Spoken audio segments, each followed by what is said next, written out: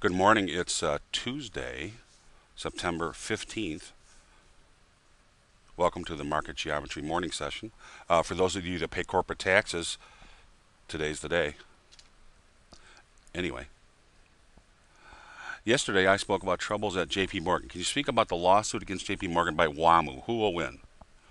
Uh, I don't have any inside information on that. It's a good question. I think that kind of depends a little bit. Oh, thank you, Mary. I think I think a little. Hi, good morning, GP. I think uh, who wins depends a little bit on whether or not Jamie Dimon is in favor or out of favor. Um, I, I, do have some insight about that, and I mentioned this briefly uh, while we were doing premiere sessions, so it couldn't have been less than two months ago. Um, there are some federal people investigating Mr. Dimon or asking questions. That's a better. That's a better. I'm not saying he's under investigation. There are some people in Washington, not in the Obama administration, in the uh, I guess in the Treasury Department, asking official questions. If a uh, uh, if they decided to go hunting, so to speak, uh, I would say at that point uh, WAMU might get. But however, if they start to unravel any of this stuff, remember, uh, it might all be open to unraveling. So I don't know. We'll see. It will be interesting. Didn't the U.S. save AIG because of failure would have hurt foreign investors, including Chinese owners? I don't think so, Don. I think they say saved AIG because, again, um, even though it's not on the books for most of you to see, the main owner of AIG is. Can anybody tell me?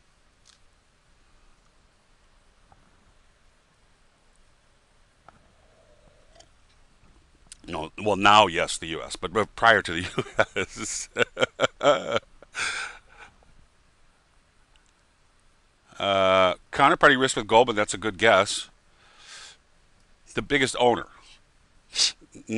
No, it's not a Chinese company. Uh, remember, these companies are nested, and it's often hard just so you know, it doesn't mean they're not a big investor. It, it's these co- these companies are nested, and what happens is some company owns something, and then they own a piece of it, and then that herds the. Da, da, da, um, David C. Teach says, "I heard that the government unions all had their money at AIG." Well, here, here's how here you know the largest investor of the company at the end of the rainbow is Warren Buffett. Now, if you pay attention to the day they bailed out AIG, you'll remember that Warren Buffett made some, for him, large amounts of investments in some companies that were just about to go under at some very good deals. Remember that? Also, he be, went out and started banging the drum for there's nothing to worry. This economy is turning around. This is the greatest time to invest in the history of the world. Everybody remember that? And of course, right. Right, he got 10% interest in Goldman. That's exactly right. Exactly right. So they gave Bud, he paid five bill for 10% of Goldman, which was a deal. So Warren has sold out in the past few years. Yes, yes, he has. And so basically, Warren knows that his end is, you know, relatively near. You don't live forever. And the problem is, he doesn't want to go out as the owner of AIG that goes bankrupt as the biggest failure because it would be much bigger than J.P. Morgan and Friends in the history of the United States. So they said, hey, this would be great. We have a spokesman. We have to save these people anyway, et cetera, et cetera. Yes, and they also, their insurers are the ones who do all the pension funds. That's right. So if you put it all together, that's why they had, that's why they stepped in on AIG. Um, me, I wouldn't have saved one thing. Yes, it would have been absolute chaos, but um, I'm kind of I believe I'm in the Phoenix theory, which is uh, you know let everything burn down. From the city of Chicago, remember, burnt down, then they rebuilt everything. Then we ended up with nice, clear, big, wide streets that are all in a grid instead of tight, uh, shady streets that are crooked all over the place. So, you know, anyway. But, you know, I to each his own. Rome, yes. To each his own. Um, I wouldn't have saved anything. I think the Chinese are doing the right thing now with their financial institutions telling them if you can't stand up on your own, good luck to you. Um, I'm going to start out with two real quick things. Uh, uh, that go along with this, and uh, uh, then I'm going to ask an administrative question. Then we'll go on to charts real quick. Um, first, I support Austrian economics. Karen, yes, well, Austrian economics, and also Milton Friedman is a laissez-faire or hands-free. He's my he was my mentor. Um, hands-free or um, you know. Yes, Magnus, I know you do. So Magnus supports Austrian economics. Yes, we. I mean, yeah, same thing as monitors. We believe in free markets, hands off. Let the markets decide. Hands free is tough when you have voters to answer to. I, well, I don't disagree. But, you know, we were a country that used to be able to make the tough decisions. We aren't anymore. That's why we are not destined for a great future, I think. We're destined for Rocky. But anyway, um, here you go. This is from, you know how they say, uh, from the mouth of babes comes the whatever, the most interesting thoughts or. At dinner last night, the voters are eating the corn seeds. There you go. Pearls of wisdom. Thank you, Mary. This is from my daughter Lucy. Well, I, no, I, I know I know you've seen Vela the snail, some of you, but Sean gets more of the. And I have a Sean story too. Sean gets more of the talk here than Lucy. But at dinner last night, Lucy said to me, out of the blue, we were talking about something completely different. Dad, do you think there'll ever be a Great Depression? And I said, Lucy, actually, I think we're in. You know, when you look back on this 20 years from now, darling, I think you'll know that we are in a Great Depression, and uh, I think you'll feel privileged. I hope you two both understand. I said to both of them um, how lucky we are to have a nice house. Uh, Mom and Dad are home all the time. Um, you know, we're we have food on the table. We go and to the food pantry, local food pantries. We give food to the firemen and the policemen here on a weekly basis, uh, out of the garden. Um, and I said, you know, times are tough for a lot of people around here. This is a Great Depression, and uh, it's only going to get worse, and you should pay attention. And then she said the, the most incredible thing. Dad, this is a Great Depression? I said, Yes, it is, darling. She said, I don't feel depressed.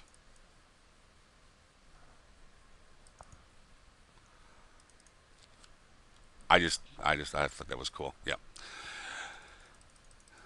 Yeah, that's, I, I just liked it. Anyway, yeah, she's, they're both very heady. It's cool though that a nine year, you know, nine year old and ten year old are thinking about things. Now, here's the bad news. I haven't looked at all yet this morning. Um, Mr. Sean came home from school yesterday at at uh, ten thirty, uh, ill, with a tummy ache. Um, he hasn't awake yet, so I, I, he, I, think he was better by the evening. But hopefully, it wasn't the uh, oil position turning on him. but we'll find out as as we go. Last little uh, last little tidbit uh, before I ask you a question for, uh, I think Mary wants me to ask this, but let me ask, give you a tidbit. I did get uh, some emails. Maybe Lucy's onto something. We just need to get everyone on the Fed antidepressants. Not a bad idea, Paul. Well, we need to give them sleeping pills, I think, so they just don't do anything. But anyway, um, I got some emails from some people. I remember yesterday's free day, so so we had a lot of people that don't aren't here on a regular basis, and and are visiting. Um, I got some people that thought I was an Obama hater, just so you know, and said, you know, these things don't, the things that you were talking about yesterday morning don't actually happen. I got three. of Um, I don't know if they were the same, same people with different email addresses or what. They were vaguely similar. Um, you just uh, don't like what Obama's doing because you're anti-Obama. You're probably a Republican, or um, you don't know what goes on inside the administration, stuff like that. Doesn't bother me. That's okay. Um, I, I, would remind everybody that I said before the, uh, and this you can go back and listen to the recordings on Traders Expo. It didn't doesn't matter who gets in for these four years. They're go, they're going to be in living hell uh, because you know these four years you're never going to get anything passed. No matter what you do, you're going to be in quicksand, and the economy is just going to get worse and worse and worse. Doesn't matter if you get uh, uh our our buddy uh, Obama or if you got uh, our Republican buddy. Doesn't matter they're useless. Same thing. Not that Jimmy Carter would have been a great president. He's a great man. Don't think he would have been a great president no matter what the, no matter what the situation. But he was a great man in a bad situation. No, it doesn't matter who was in. They were dead. That first four years, dead. Same thing here. That doesn't mean Obama can't get reelected. I'm not saying that, but I'm just saying these first four years, the president is not is not the issue. Time is the issue. It's going to take time for these things to work out. Then how they work and how they intervene is going to depend how long it takes for all this to settle out and what the consequences are afterwards, whether we get massive inflation and all these other things. Now, Um, so I would also remind anybody that thinks I'm Obama or uh, McCain-ish. I'm old enough. I'm I'm 51. Uh, any of you remember that there was a great S&L scandal where we pumped huge amounts of money into savings and loans? Yeah, of course you are. Some people are. Yeah. Okay. And remember, uh, I don't know how many years afterwards it was. You read about it. Okay. Uh, Continental Illinois, absolutely, in Penn Square, sure. Okay. Well, afterwards, remember now it took quite a while, but afterwards, somebody said, you know, hey, where did all that money go? Remember that? Absolutely, Mary Resolution Trust Company. Absolutely, which is a lot like old clunkers for junk or whatever it's called, right? Um, I'm Canadian. Is it all right for me to think both candidates were are in, inadequate? Dallas, I I would agree with you. Both are flawed. Yeah. Okay, so here we go. Um, John McCain was one of the Keating Five. Anybody know the Keating Five were? You remember that? Yeah. He, the, you know, the, the other four went to jail. He skated. So his hands, he's he's known as a guy who always, you know, et cetera, et cetera. Yeah. So, I don't. Well, dirty, not dirty. You know, hey, look, nobody's hands are clean in Washington. Let's let's face it. That's my point. No one, not anyone, especially these days. It's getting worse and worse and worse because people that actually care wouldn't run. um, so I, am not I'm not particularly Republican or Democratic. I want somebody who's going to get in there and actually knows what they're doing and do something. And my opinion was you could vote, you could flip a coin, doesn't matter. They're both dead. So in answer to those emails, I'm not Democratic or Republican. Then the last one was I don't know anything about uh, how the world works. I'll tell you a real quick story, then we'll get on to charts. Um, Mary, you'll love this. My car choice, Mary's choice is a is it a 66 Vette? 66 beautiful Vette. I had when Jaguars were Jaguars, not Fords. I had an XJS V12, which means they take the XJS, then they send it back to the the Jaguar Motorworks, take the top off, and put on a custom-made convertible top for you. Absolutely beautiful.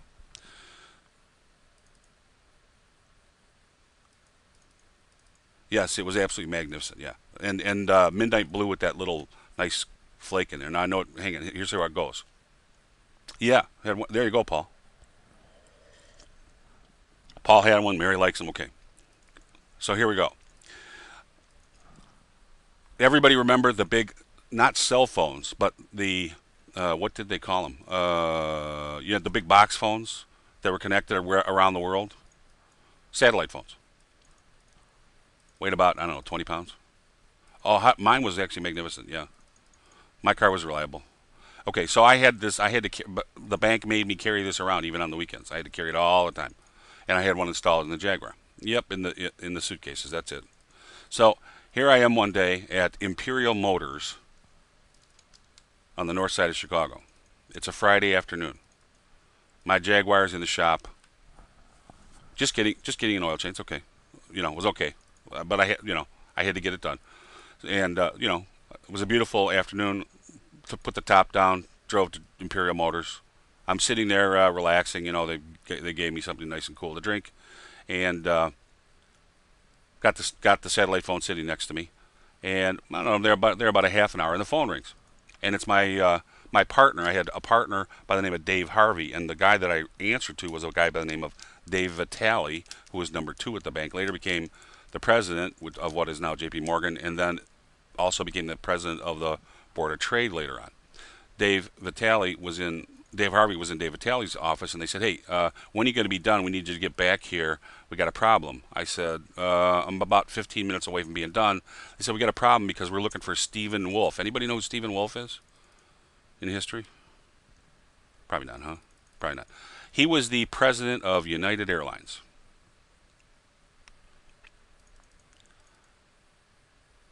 And which was a Chicago company, obviously.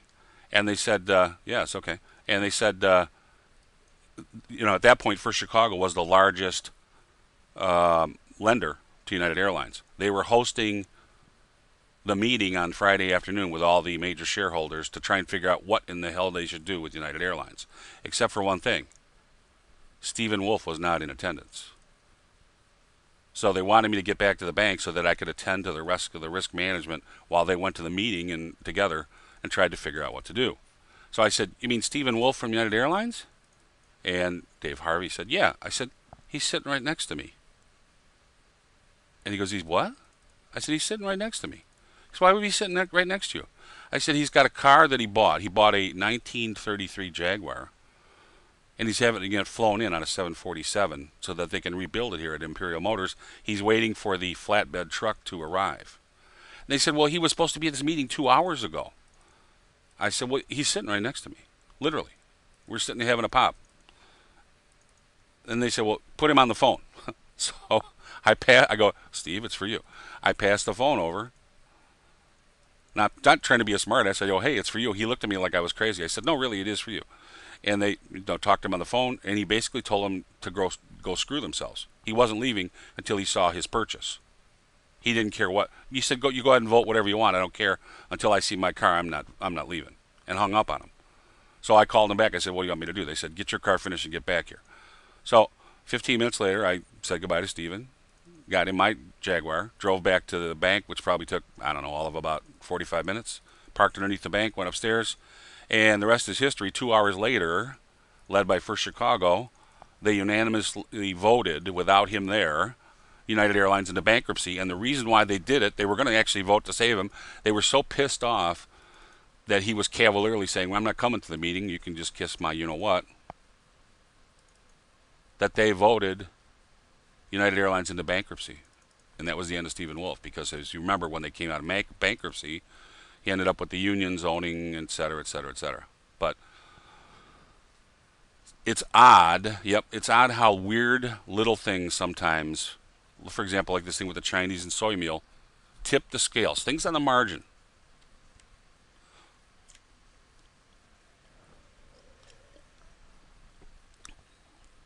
His car came first. Exactly right. I, I have to tell you. Oh, uh, Magnus, I'll tell you about it another time. Unintended consequences. Yeah, it's fun, it's funny how little things though. Was this story ever published? Well, I'm actually doing a book for uh, Wiley and Sons um, called "The Wild Wild West of Foreign Exchange," or something like that. But it's coming several books after what's coming out for you guys. There's no hurry on this one. It's a history book. It'll be in there. Don't believe me. Along with some really stuff from about intervention with the Fed and how crooked all that is. Now, now that the uh, now that they can no longer sue me. Um, anyway, okay, so let's. have I spoken to Wolf since? Well, we weren't friends. I didn't mean it that way. I just I just happened to be in the right place at the right time. Was he arrogant? Oh yeah. Oh no no, he was like, they're not going to do anything to me. Yeah, he was arrogant. A lot of people were at that period. So let's look at some charts. How about that?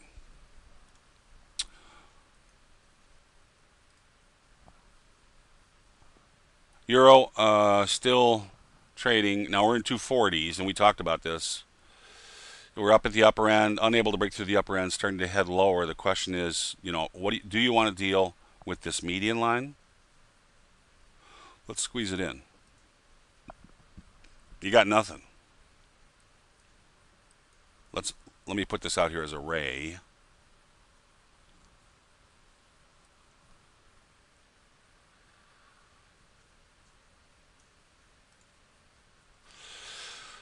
Extend the head. Let's make that.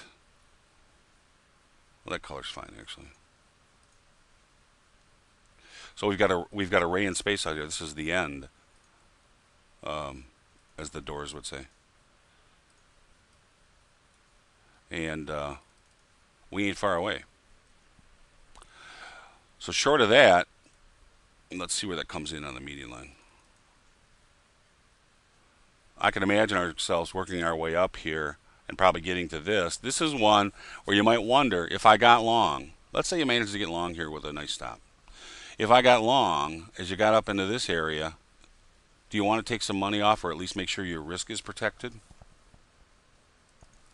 because your yeah because your risk reward your dynamic risk reward has deteriorated probably at that point. But second of all, we might have a pause and you might find another area to get back in. It's another way to think about it. I'm not suggesting getting out because look, I mean, if we keep going, this this leads right I think right to 165. But that being said, if we're going to have trouble, it's going to be either here or at the upper median line parallel. So just straight formations. Let's do a quick. Uh, what's one? What's our one to one look like? I'll do two because I don't think this is, well, hey, that's not awful. There's the 1.618. That's 147.65 versus 25. It's not awful. And then we'll do our second one from here. Well, I guess from there. And again, how about that? Same price. Any way you cut it,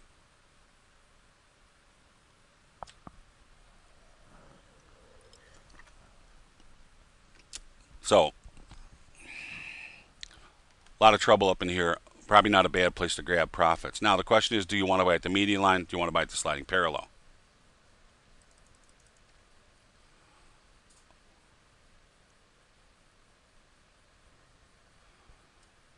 Um, I will look at the. Let me throw the 20 up. Uh, hang on a second. Then we'll go to bonds. Do, do, do. Hey, there we go. Oh, oh, okay. So here we are. after refreshing it. I don't trust anything these days. Okay, so here we are in the 20s. Uh, basic structure. We've rolled over now. Where we headed? Well, certainly either the center, which would fulfill this balance line, but probably down to the bottom end of this range. Um, let's look at the straight median line of the situation. Now if you do a sliding parallel, you should be able to see that just dead dog easy as they say. Here's our, I'll go by the first peak. Let me freeze that and open it up. Let's take a look. You come up here. This closes above. Mm.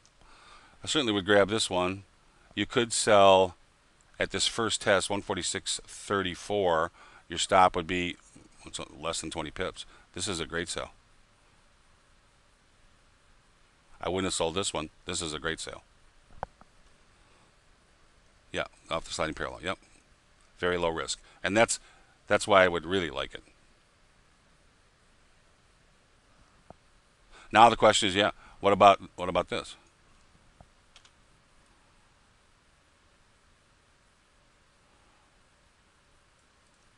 Is that your profit area? Would you take a profit right here? 145.86, so you're getting short at 146.34. Well, it's only 50 pips. You're risking 20 to make 50. I'm not playing unless we're getting down, unless I'm playing for this or down here. Now at this point, I'm break even and actually probably now right here. So my stop profit is 146.20. How about that? Yeah, it's midnight. I was asleep. Uh, this is cash euro. Michael. No, um, somebody says, uh, "What weakness did I see?" Tom, good. That's a great question. Here's what I see. I see ranginess. Uh, let me get a pen here. I see a test of tops. Let me straighten that out. Lower high, test of tops. But I see a, a range building up, and that's often a sign of a rounding top. Then the question would be, what's the size of the stop? If the stop, if this line has any frequency, and you can see it does have some frequency, if it's a very small stop, at that point, then I'll play. With left at, oh, at the double bottoms. Give me again, chef. So there, is there a lot of weakness? No, there's ranginess, and you would like this and go, hey, look, I've got one, one drive to the top, two drives to the top. I'm selling the third drive to the top, and it may be a rounding top in a rangy market that probably is going to come back to the middle of the range because we've already broken back into the range. See it here?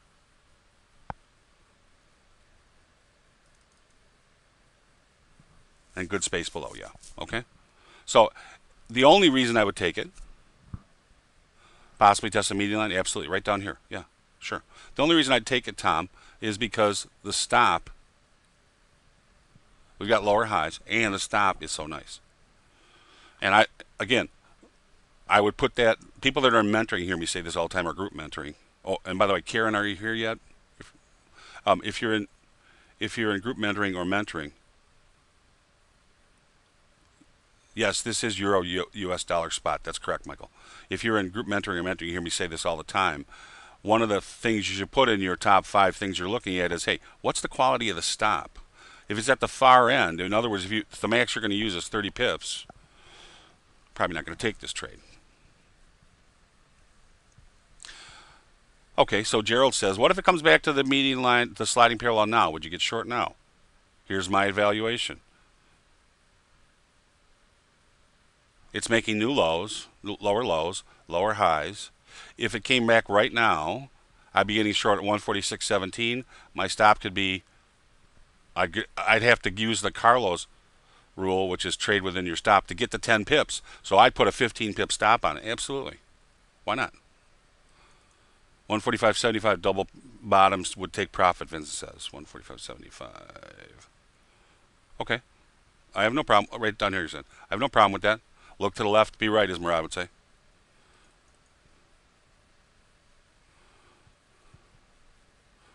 Uh, Mary, can I uh, can I can I give him a teaser about the possibility of uh, making contributions, or do you want me to wait? Um, Mary and I and Paul and Catlin and Murad and Shane all kind of had the same idea at the same time. Although I don't know if everybody was talking. I think the only person that wasn't talking was me. I was just sleeping. But in the last week, people have been, ta- you know, all of us have been talking. I think we all came up with the same idea at the same time, which was, you know, be really interesting. Yeah, we, we muted Carl. That's right. Um, it would be interesting if um, we had a what's the right word? gallery maybe is the wrong word. If we had a, a showcase where we could say, look, a hall of fame. Thank you, Mary. Um, and look, I'm a professional trader. It's easy to go look up my statistics if you know how to do it. And, and if anybody doubts that I am, that's fine. I don't really care. But whether or not I can trade is not the issue. The question is, Mary says it was Paul's idea. Okay. Um, the question is, I think that's much more important is, is the methodology I espouse and the thing that we look at every morning and the thing we do in uh, mentoring and group mentoring and uh, books and seminars and all those things, is it a tra- is it a teachable methodology? Is it useful to learn this stuff? Now, some of you obviously believe that. It would be really cool if we actually had some examples. How about that? So what we thought was wouldn't it be interesting if we had people do some videos, some whatever, and show their pre entries, their entries, whatever, and then have a monthly contest uh, to get in the Hall of Fame or at least a regular basis and examples of success. You know what? Uh, yeah, absolutely. And not only not only just success, sometimes great money management and a losing trade would be great. How about that? So examples of why you do the trade, how you set it up, taking the trade, how you manage the trade, getting out, etc., etc. How about that? It's not even just for PR. It's for all of you because how about this? Could this be the start of crayontrading.com? Could be indeed, Mary.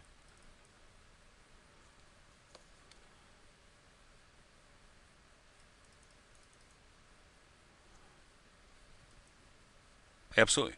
So anyway, um, Mary is going to put together a uh, market geometry is getting crowded. Yes, it is. Mary says that we're gonna we're gonna open up www. Ready? CrayonTrading.com. Just so you know, we have Crayon Trading and Crayon Trade Trader. We also, Paul, we also have Fib Dance. Anyway, um, we all, the other so we'd like some ideas of what you and some examples. Start working on some example, boys and girls, because we'll do this quick. Second of all, what kind of nice things would you like? Would you would you like market geometry T-shirts? Would you like T-shirts or hats that say "Shift Happens" with the market geometry logo? Would you like uh, mugs, handmade mugs from one of our members who owns a glass blowing? He owns a glass blowing factory in England.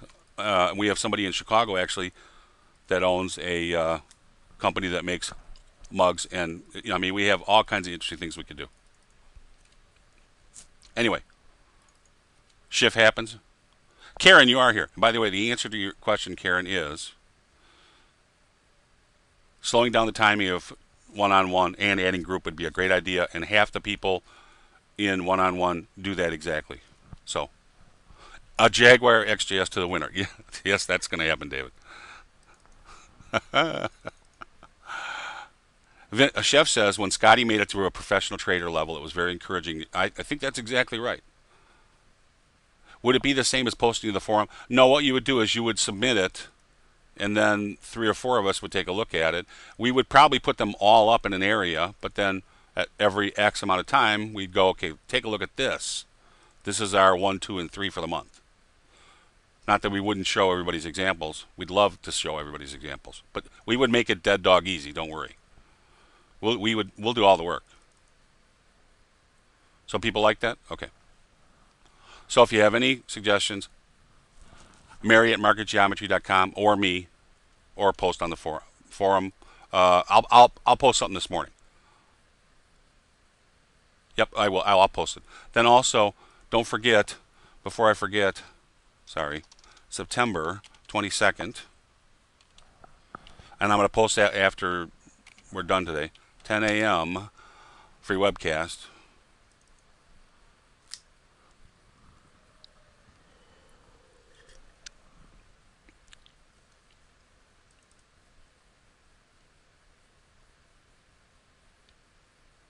And you're going to see more Murad's trades, by the way, uh, as well as some from Shane and We've got a bunch of them. We just we want to make sure that we have an area worthy to put them up.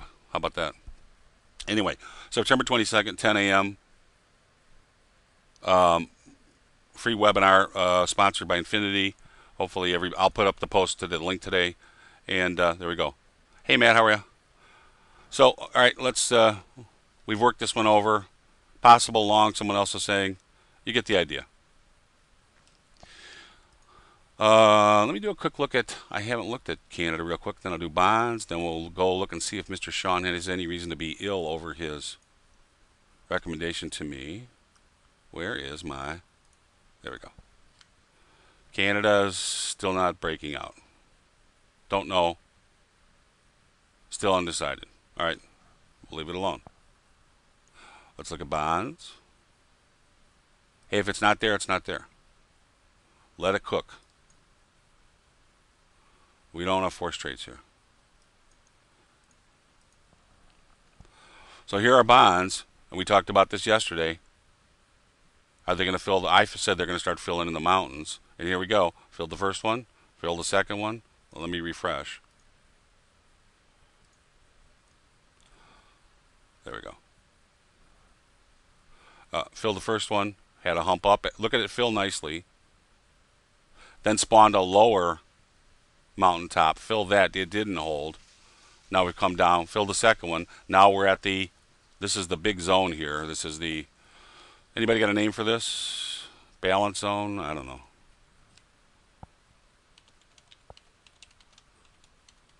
You could draw this either way. Um, and so I kind of.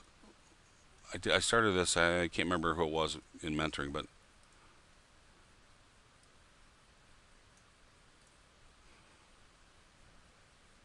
It's a combination of Scott Bogaden and somebody else. I can't remember.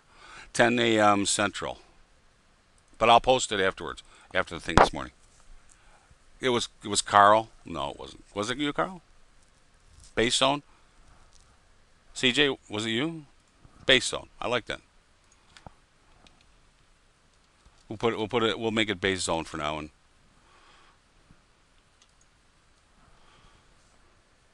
it was Carl. Okay. So next time I mute you, Carl, you can say unmute me. You owe me one. How's that? but basically, the idea is you can identify two really nice balance lines, and rather than pu- than choose them, just draw them both in there and go. Look, this is going to be like a zone where you don't want to play, unless unless you're short and it's come into this area. But certainly, it's almost like a middle of a range. You don't want to, you know, you don't want to do anything in here unless you're short and it's got momentum. Well, this thing, this sucker looks like it's got momentum to me. To me, it looks like we're headed down to here, if not the Grand Canyon. Right? It's a neutral zone. I don't think that captures it, Kirsten. It's a a DMZ, a demilitarized zone. That captures it. Yes, there's a war on both sides. How's that? that? Uh, yeah, I like that, Mary. Here. In fact, I like that so much. Oh, what the heck did I do? What did I do, Mary?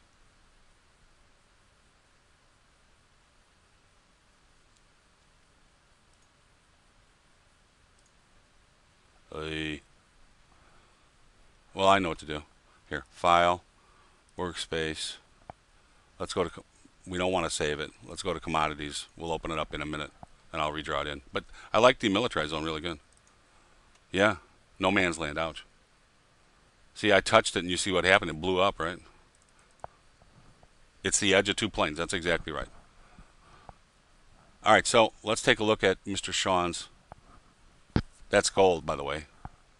So G20 is trying, as, as Paul and Andy pointed out, they're trying excuse me, they're trying to push gold down. It's in their interest at the moment.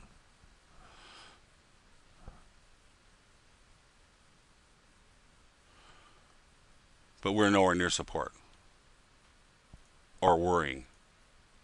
And uh, we might actually be doing a bit of turning here you can do this. How about that? That work for you?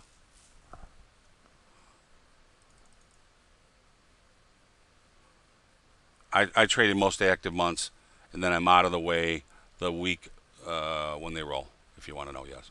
So I'm circling this rascal right here. Everybody see where I put my A? I'll circle the A for you.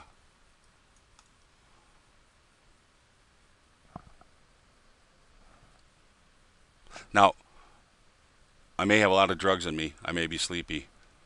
I may have problems breathing, but I can see this without even drawing it.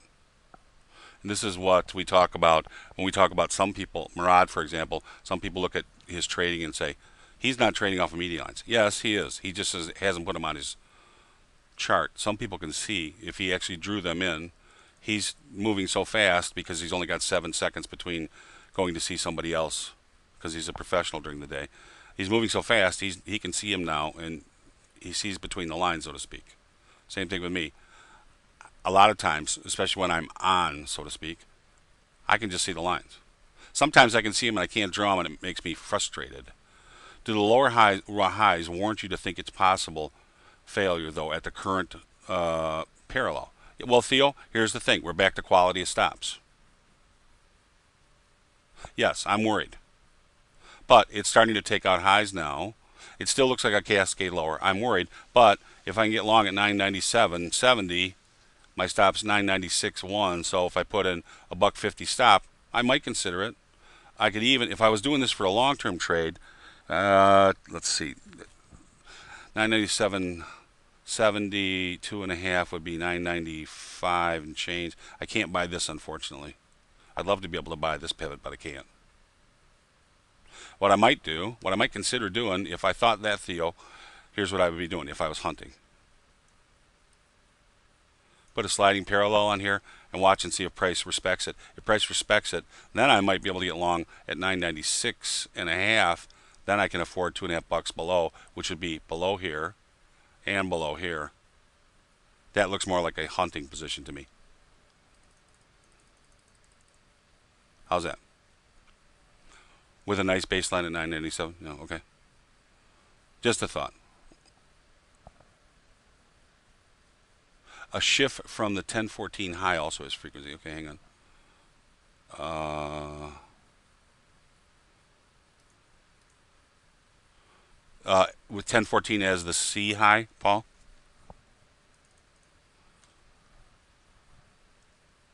As the A. A. Oh, I see. I'm sorry.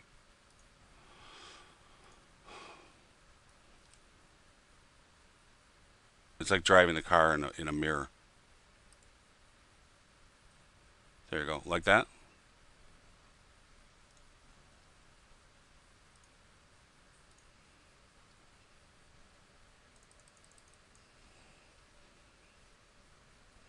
So this would lead me to believe, now that Paul and Theo have both pointed this out, point of decision coming. So it's exactly what I was going to say, Paul. Uh, I'm not sure I want to trade until the decision's made. Why bother? How about you, Paul? Unless to stop it, yeah. I'm just gonna let it let it make its decision. Then I'll find it. So we'll mark this. Don't know, and let's see what we get. How's that? Do you remember uh, Tino DeAngelis had a shell game on soy oil? I didn't do indeed. JP Morgan et al. are playing a big gold short. Yep. Uh, here. Yep. Well, I think JP Morgan and Barrick are in real trouble. Tom says, when will the decision be made? Well, we're talking about 1,350 tick bars, so it's kind of hard for me to tell you. We have less than a day. How about that? Or we have about a day at max for this to play out, it looks like. But if it gets real active, it could be slightly less, but this looks like about a day.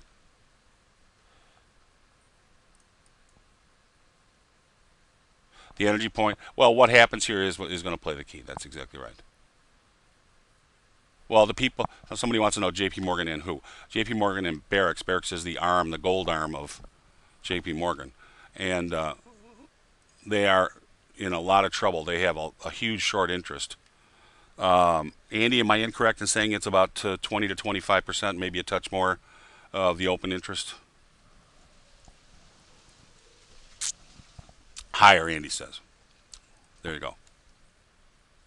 And uh, if I know they're they have deliveries that were supposedly coming from the Chinese, and they ain't coming. Let me just tell you. So they're trying to push. What they try and do is they try and push receipts around. Are they? Scott asked Scott Bogan and asked me, are they also shorting silver? Andy, can you answer that? I cannot. No, open interest does not always mean shorts. It could be longs as well. Andy says they have bigger shorts in silver than they do gold. There you go. And those deliveries are not coming. The Chinese government, that's what started this whole thing with Obama and the Chinese government. The Chinese government has said they're not going to intervene. Good luck. Andy says the silver open interest is four times as large, just so you know. The short open interest. So we're talking about huge amounts of money. We're talking about Lehman-esque size of money, if it all if the, if it all hits the fan. Obama tried to intervene and do a bit of bluffing, and the Chinese basically told him he was peeing in the wind. Go ahead and keep doing it. So this this silver and gold ain't coming. Now it's up to J.P. Morgan, Barracks, and friends to see if they can tap dance their way out of this. Best of luck to them. Because it's finally come to the point where the Chinese say we don't. That's an interesting theory, but we really don't care. Duration of time, I don't know the answer, Ron. Uh, Andy, it's relatively quick, or Obama wouldn't have uh, stepped in. But remember, they can roll things. If they can push the price down before a G7, G20 meeting, um, they can continue to roll this out unless somebody forces their hand. But Barracks lifted a lot of a lot of their hedges. I mean, they're buying what they can. Barracks, uh, it's not how it sounds. It's not B A R R A C K S. It's not B A R I X either. It's uh, something weird like. Andy, do you remember? I, I don't know. I remember it's it's B A R R I C K S. There you go. Yeah. Thank you. Thank you, CJ and Dallas both. The bet is the specs will capitulate. Well, I think it. I wouldn't take that bet. How about you, Andy? Yeah, Andy wouldn't either. The symbol for barracks is ABX. David Selko says. Thank you, David. Um, I think uh, here, here's another one, Mary. David, uh, no offense to you. I, I believe uh, J.P. Morgan and Barracks have their teat in a ringer, as my as my 91 year old mother would say. Teat in a ringer. it's going to take gold up here, I would think. Yes. Um, what about exchange intervention? What about it? Uh, the Fed. Let me let me just tell you, the Fed the Fed positions are no bigger than my positions for my the people I manage money for. They don't do much. Well, up she goes. Well, we'll see. We'll see. Oh, in gold. You know, I was going to mention that actually. One of those old washing machines. That's right, Don. I can remember we got our first washing, our first uh, dryer. Actually, I still remember the washing machine, the hand washing machine. But um, I have never seen. I have intervened in almost everything: Mexican debt, Argentinian debt, all kinds of weird markets for official uh, governments. But I have never intervened in the metals market ever. And I've never actually seen anybody do it, as odd as that sounds. So that's why it was, like I said, I was I sat back like you guys with interest and watched Andy. Well, I, okay, copper there, no. Well, yeah, I've seen it. I've seen, I saw the Hunt brothers. What I mean is, I never physically did the intervention. See, I've intervened in the S&P markets. I've intervened in Mexican debt. I've inter- I've done the intervention in Argentinian debt for government officials, and certainly any foreign exchange currency you can mention. I, have never done any metal, and I've never sat next to anybody doing the actual physical intervention that is done. So that's why I was sitting back with great interest when Andy and, and Paul were talking because um, there were Chinese doors, if you will, where I worked between myself, even when I was running risk management uh, in the metals area. Yesterday, Obama said that there were signs that some of the old ways were coming back and that there would be no more bailouts. Hey, best of luck to you, buddy. You can't have it both ways. That's what I say. And I say that to him, Republican or Democratic. You know, you can stand there on Wall Street and say all you want. But how much did he give those banks?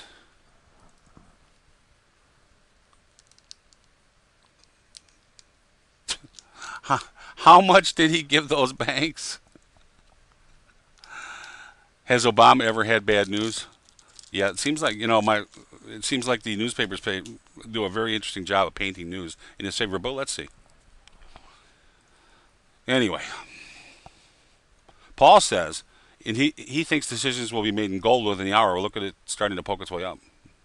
Everything's always rosy with him. Well, he's in his honeymoon period, but I'll tell you what, if he doesn't, he said personally, if he doesn't get health care or something passed by the end of the fall, he's dead. Mary says, Why do people listen to these speeches? These people don't know what they say. That's why I don't listen to any of this stuff, Mary. My wife tells me what I need to know when she reads the paper while I play. I don't play World of Warcraft, I play something else completely inane while I drink my tea before this session. But she said, You know, what's going on with these guys? Look at what they do, not what they say. Exactly right. It's the same thing as trade what you see, not what you think. Exactly. The, Eduardo, you're exactly right. All right, so now let's look at Mr. Sean's oil trade and see if he has any reason to come home. Actions, not words, absolutely. Wasn't that uh, Teddy Roosevelt? Uh, where's my oil? There we go. No, this is no reason to come home sick. Okay. When men were men, somebody said, and carried a big stick. I got a big cane now. Does that count? Uh, do you think we'll make it down here? Uh, how many people think we'll make it down to this mountain? Down to 67. Okay. I got one vote of confidence. Okay. How many people think we'll make it down to 65? Down to this one. Okay. Possibly doesn't count. You you can say no, you can say yes, you can, or you can just not vote. Okay, there you go. So I'm getting a lot of yeses. How many people think we'll get the, a test? This is what I'm really interested in. How many think? How many people think we'll get a test of 60 bucks? 58 to 60. No, no, tough. Not so sure. Here's the reason why. If we break this, I'll make sure I have a trailing stop on this hunting expedition. I wish my trading platform accepted a possibly trade. I like that, Paul. Test to 60. Be, and the reason why is because 60 is the key. If we blow through 60, if the Chinese step out of the way and say, go ahead and let it go lower, then we go in a lot lower. If gold, JP Morgan blows, then price will fall because fear will cause the economy to stall. Well, that's one possibility. The other possibility is that people will buy all hard assets we'll have to see how we'll have to see how this all plays out. Yeah, I, I that's what I'm thinking, but I could be wrong. Only price is going to tell me. But the way I Jamie Dimon's position. Oh, actually, there you go, Eduardo. There you go. What's the best way to screw Jamie Dimon? Not only get him in gold, but he's long oil. Push oil down. Don't buy any oil. I like that. I really like that. And then and then when he pukes, take it take it from him. I like that. I like that a lot. Um, I I don't know how many tankers Jamie has, but I know there Malta. Supposedly you can walk across the ocean at Malta right now with super tankers. Where will I put my stop if oil breaks out under your second from the top, Magnus? Um, I'm hoping this will be a mini swing right here, and we'll take this out. Somewhere in here we should form a mini swing high,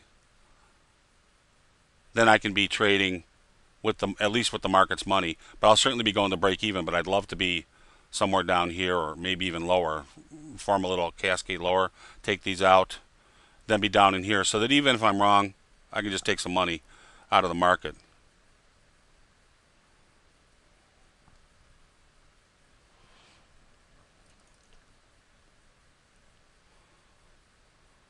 Higher lows and closed on high. Yeah, I'm not that worried about it. Remember, these are, you know, these are. Uh, I mean, if you if we if we open this up, and these are hunting, it takes a long time for these to play out. If you get stopped out, eh, it's okay. I'm like I said, I'm about in the hunting. It's about 50-50. You guys wanted to see see me start to do some. Okay, we're in one. Now we'll see how it plays out. We'll see if we can manage it. Three mini drives to the to the bottom could be a good time uh, to set up. Could be.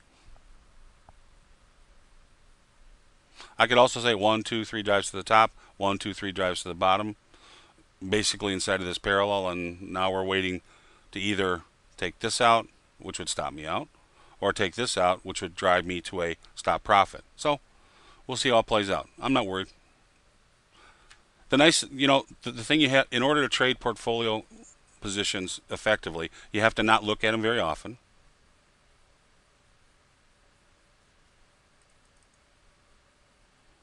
And you have to actually get a stop and just, you know, um, I think I mentioned this yesterday. Let me point it out again.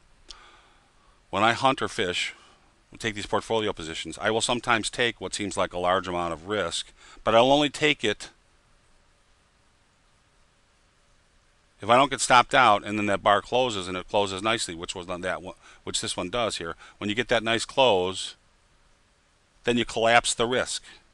So I'll take the risk, but not a tremendous for a tremendous amount of time. So I will expose myself to a fairly large stop when I'm portfolio trading, but only for a relatively low amount of time once the position's on. For example, in the beans, a lot of time you'll see this. You'll get filled on a spike you'll either then get blown out right away, which is okay, that's that's part of the game, or it'll turn around and it'll close and it'll be nicely profitable. At that point, collapse the stop. You no longer risk that amount of money. That's part of the art, the money management art, not science. Okay, and and hopefully you'll see that. I'm hoping you'll see some of that. You see me collapse it a little bit, but hopefully we'll be able to collapse as we're playing with their money and be enough far enough away from the action that we can make informed decisions as we get down toward if it goes our way. We'll see. And paper trade along. Don't don't jump in just to jump in. Paper trade along. Um, if you're if you're not a long long term trader, don't do it just to do it. These are the lessons that J.P. Morgan don't know. Dallas, these are the lessons that the traders that used to work at trade J.P. Morgan knew, but they refused to pay us, so we all left. These, this is a continuous chart. I'll chart on continuous and then trade in a real one. Okay. All right. So now uh, I got to look. Golly shucks, heck! I almost said a really bad word. Though, every time I have an idea in hogs, since taking I took this one nice chunk out, then I wanted to get short up here, and of course it frustrated me. I was in the no trading zone. I wanted to get long around 45, but it already started its move back when I got back from uh, uh, Arizona looking at houses and whatever. And it's done nothing but march straight up. Now we've gone from 42 to 52. We've got our $10 range. I'm thinking this is about it. What do you think? Retail sales 2.7 versus 1.9. Why is 10 bucks? Why 10 bucks? Um, you know, I talked about this. This is like a biological cycle. Um, here's what happens. They, they buy baby hogs, they grow them up. So what they do is the guys that buy the hogs run the market because they are then the guys that sell the market. So sell the hogs. So they run them up, they buy them, then they run it up, then they sell the hogs as they mature. Then they push them back down so that they can buy them lower, back and forth and back and forth. And basically, when I hog trade, I want to get core PPI 0.2 versus 0.1. Um, is the underslop on the red fork equal to the overshoot? It's not bad. Here, we don't need this line anymore, so let's just move it.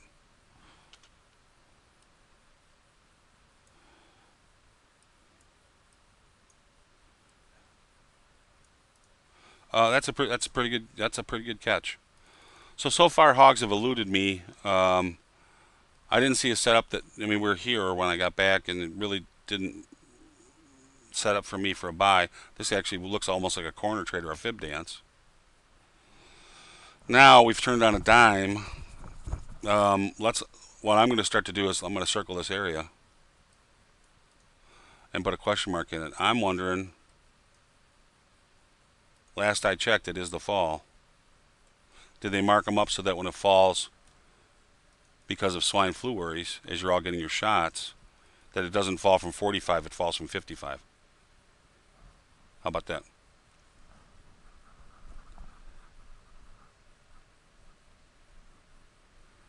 Uh, somebody says, uh, or Theo says, looks like a linear regression.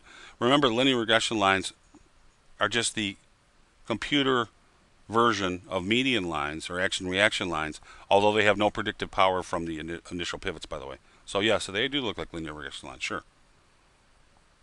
Would I take a short? What I'm looking for now is I want I want price to come back in here and bunch up a bit, and uh, or I want to spike up that leaves me a, a very acceptable stop.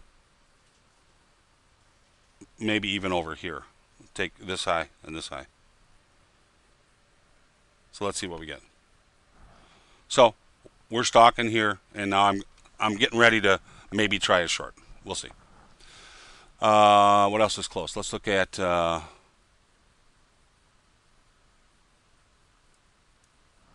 where did you go? Beans? Novi beans? Pukey looking, huh? No, that's continuous. We don't want to look at that. Sorry. Novi beans, where are you? There we are. Sorry about that. And we're at decision day, or we're plus or minus three to five days of decision day. We're right on the day now. So expect something to happen here in the beans. So far, it hasn't happened. Remember, we we've the meal debacle is out of the way. But I think in the next three to five days, so by the end of next week, something's likely to happen. Um, the cycle for hogs and corn, um, I just have it from trading. I, I, you know, per- personally. Yeah, this is a bad looking chart. I think if it takes out uh, 8,800, it, we're going to, like I said, we're going to break into the 500 to 750 range. 450 to 750, like that. So I, if this breaks down below, I'll be looking for a short, but not in Novi, probably in March. So we'll wait. We'll stay with Novi because the harvest is on. But at some point, we'll just switch over to March, which is the crop coming out of the ground. Okay? It's old crop. This is new in the ground crop. March is this out of the ground. Can they buy a meal maker and buy soybeans? Yes, but they're not. And, and the reason why is because they thought they were. Here's here's how the here's how they got screwed by the Chinese. They thought these deliveries were coming, and they found out on first notice day that the Chinese, which only gives you a week, that the Chinese weren't going to deliver. They were basically going to default. And it's not the Chinese, by the way. It's one institution, and the Chinese government said to the institution, "That's fine. We'll back your uh, decision, but you're going bankrupt." So, unlike us, they made their institution pay up. We we've been giving handouts in America. The communists actually said, "Who loses? The CME or the farmers? Not the CME. The CME. Not, no, no. J.P. Morgan loses."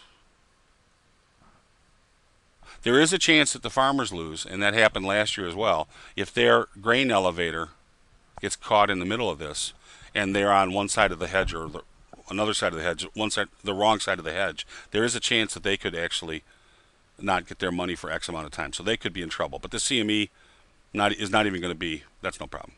Yeah, some really.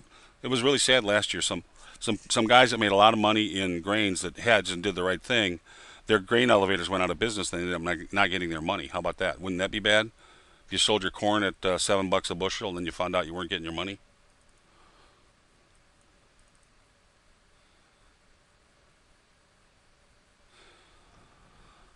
Uh, let's look at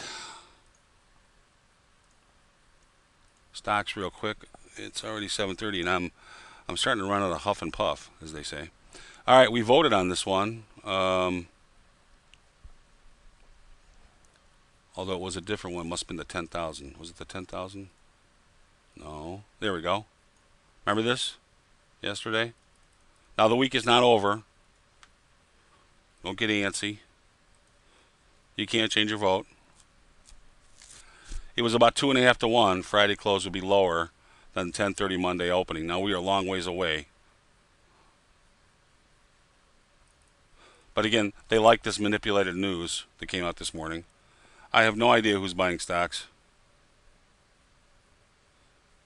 If the trades were cleared through the CME, why is the default allowed? Scotty McClendon wants to know. Um,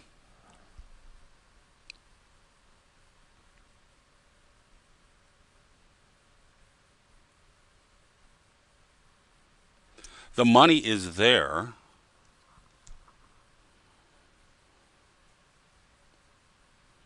These are, uh, I'm sorry, they're not made through the CME. These are these are OTCs. First of all, if it was made through the CME, the CME, the clearinghouse would eat them. You're absolutely right, Scotty. These are OTCs, just like gold. But yes, Dallas is right. CME isn't the backer, just the contract shuffler. But, but just so you know, if you trade through the CME and your the house on the other side goes bankrupt, you're absolutely right. The contract would be made good. That's right. But these are all OTC. Mark says, "I thought good news was bad for the markets." Yeah, I, well, I, I, I guess I, I don't know. I somebody's buying a lot of stocks, and whoever you are, good luck to you because you're making a lot of money. It's not me, but um, you know, I I've been pretty quiet about this the whole run up from um, six, uh, you know, sixty six hundred in the Dow all the way up to where we are. But uh, I'm gonna I'm gonna do an interview next week, uh, remote interview with Traders Expo because I'm not going in November, and uh, I'm I'm going to be uh, less than quiet about it. Which is, in my here we are, we're bouncing at the uh, top of these highs, these higher these higher mountains. This ride's coming to an end.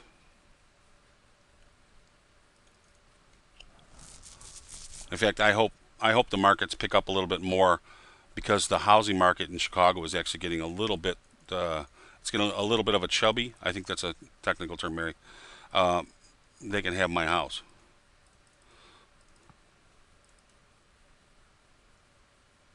Come and get it.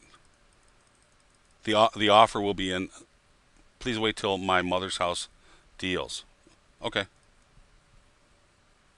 Matt says he sees none. He sees no. Chubby says, "Oh man, Matt, you're not making my day a good." See, I, am seeing a lot of people uh, actually, to be honest, in my neighborhood. Um, and I'm not in a rich neighborhood. I'm at the. I try.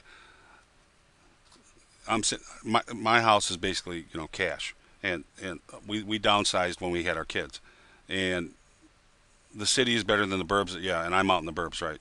Me too. I'm, I'm 45 minutes to the west. Um, but in my neighborhood, uh, the guy that builds the houses here went bankrupt, and he's, he's he had about 10 spec 10 houses that he was using as models and specs, and I think there's only one left now. And I think that was kind of holding the price down because he had just cut cut it, cut him down to basically what he owed. To just get out of bankruptcy. So. Matt says, "Great he's on the floor laughing. Lots of great technical terms today. Yes, thank you. And uh, so hopefully, uh, hopefully you guys keep. and no offense to anybody, I don't mean you guys, but I mean people out there buying stocks. Keep buying them, guys. Get all excited. Thank you. Take me out of this position, which is you know. Yeah, that's what's selling close to the bone. Well, you know what? When I put my house on the market, which is not going to be that long, it'll be close to the bone. My realtor won't like it, but I'll just tell him, hey, this is Tell me what you think it's worth. Okay, put it on the market 20% less, and they'll faint. Because I, I don't I want it sell, I want somebody to walk in and go, uh, yeah, I'll take this house.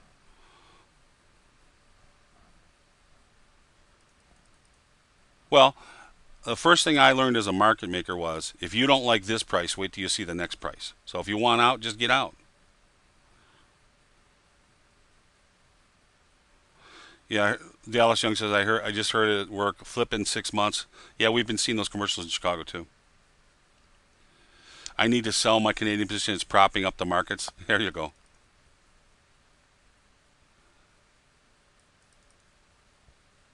The first loss is usually the smallest. That's right, Paul. If you don't like this price, wait till you see the next one. That's exactly right. I was taught that, and it was absolutely and that's I taught every single market maker trader that worked for me. That's the very first thing I thought. I taught them when you call out to get a price. Okay, Mary, put it in there. If you don't like this price, wait till you see the next one. If it's for time for you to take your loss, take it because you won't like the next price.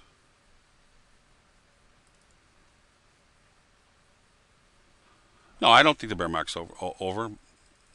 Yeah, Jennifer, who was a market maker, says that's so true. Yep, the people that freeze and go, oh, geez, I can't hit that bid, when they get the next bid, they throw up. And the next one's even worse after that. So the Dow, uh, you know, I, it's going to turn. Sorry. The longer we wait, the harder the pain's going to be. The more it's going to hurt. Because more and more people are buying into, okay, this is all going to be okay and it's not. So, I here we go. Let me just. I, I Eduardo says he expects no no advance warning, just down fast suddenly. I think that's right. I think when it turns, it goes. That's 1931. Chef says I absolutely agree. And Mary, your book should be there tomorrow. Actually, Mary, let's make that one of the. Mary, let's make that one of the uh, things. How about this? Milton Friedman's uh, Nobel Prize winning. There's a condensed section that they put out in a separate book, which is what I sent you, which just deals with the Great Depression. Magnificent small book.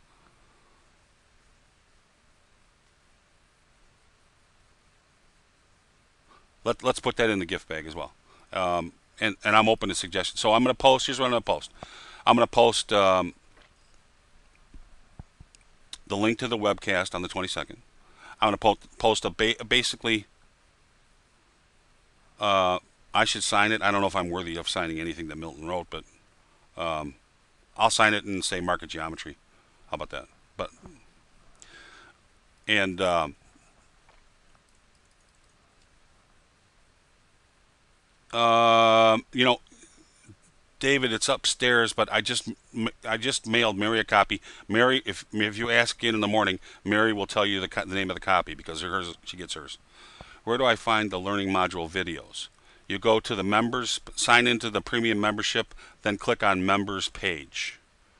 And but I will tell you this: that's all changing in the next two days. It will be so simple by the end of the week. I, I hear to to uh, get around that you will have no problem.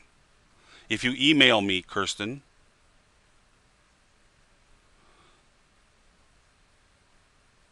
I will send you the link.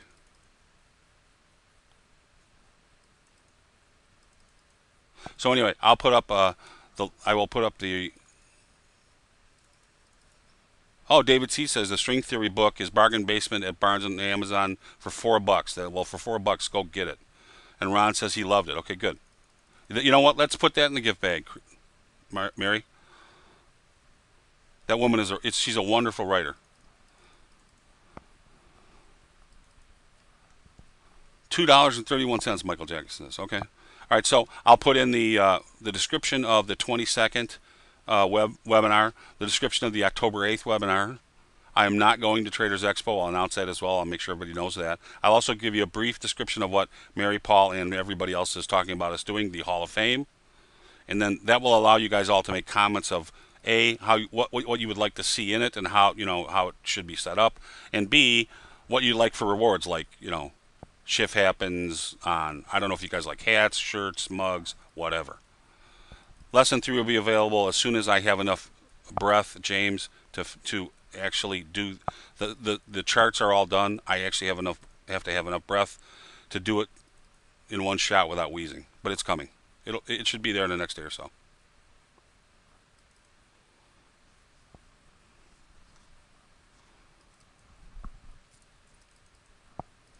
So, that being said, Andy says, by the way, Andy has gone from being just a metals trader to now trading cash foreign exchange. He's in at 146.17 and out at 145.75. Thanks. I'm earning while I'm learning. Well, Andy, thank you. How about that? And a nice pop in gold. Well, there you go. Paul, you're prescient. Paul said it was about to be, and it was. So that being said, I'm I have to go upstairs and take some albuterol and uh, breathe better. I hope you guys had a great uh, session. I will see you tomorrow. Have a wonderful day trading. I appreciate all the kind thoughts and for you being patient while I uh, repair myself, so to speak. Yes, I'm getting better, and uh, all of you do well. I'll see you soon tomorrow. It'll be here tomorrow before you know it. It'll be hump day. Have a great trading day. Take care. I'm Tim Morge, marketgeometry.com. Have a good trading day.